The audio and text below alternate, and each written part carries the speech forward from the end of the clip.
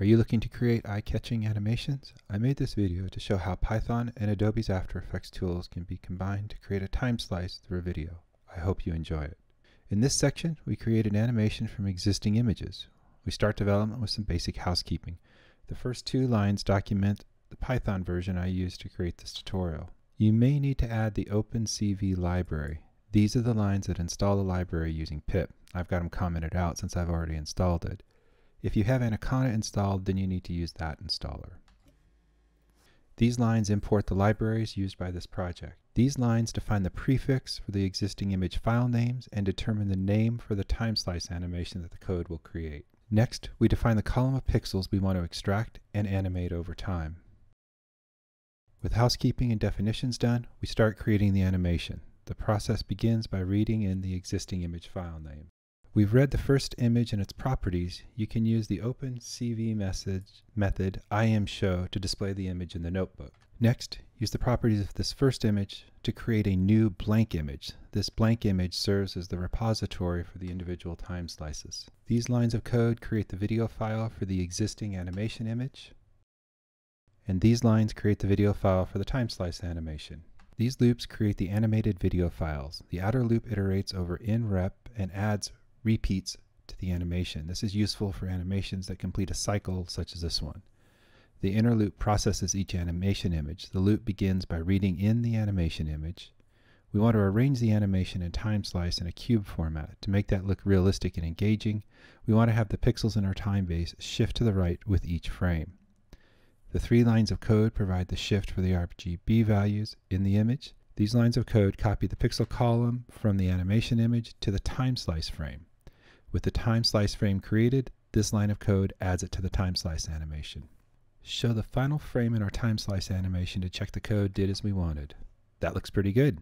And lastly, we want to close out the video file since all of our tasks are complete. With the animation complete, let's take a look at them. The code has output two animations. The first is ball animation AVI, which contains the animation for the existing frames. The animation runs a little slowly, but you can increase speed when you edit it. The code also created the ball time-based AVI with a video time slice. You'll combine these two animations to create that rotating cube effect in the next section of the video. We're going to start by opening a new project. In addition to the animations you already created, you're going to need a 1000 by 1000 gray image to use for the cube top. Import this gray image and the two animations into the project. Great. The sequence construction begins by adding a null object to the scene. This null object is going to serve as the parent for all of our animations in the top. Set all three elements, the two animations in the gray bottom, to parent to the null object. You can do that by grabbing those swirly things and dragging them over, or you can use this pull down here. For the animation to look good, the right half of the bouncing balls have to be cropped. We can do that by adding a rectangular mask and sweeping it across. This mask will gradually expose over two seconds, so we're going to start off with it as big as the image is and then bring it back to the midpoint. So we're going to enable an animation, set this at about the two second level, add another keyframe, and change that shape.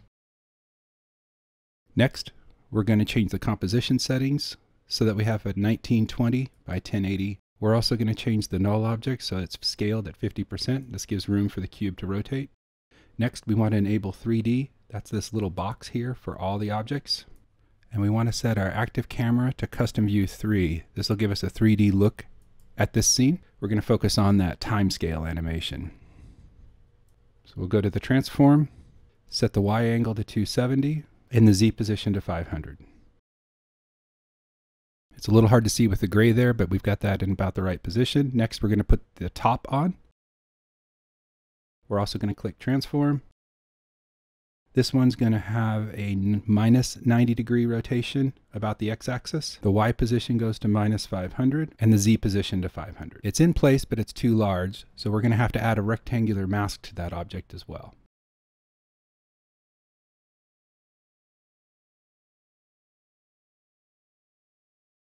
Now that we have those views set, we're going to switch to the default camera view and lastly, we'll add those keyframes that we need in that null object to achieve that rotation. In this example, the assembly rotates 90 degrees about the y-axis and 22 and a half degrees about the x-axis over 6 seconds. So we're going to add a keyframe, slide down here a couple seconds, put this at 22.5, and we'll put the y at 45. That's about halfway through the rotation for us. Go down another few seconds and complete the rotation. So that keyframe gets 90 degrees.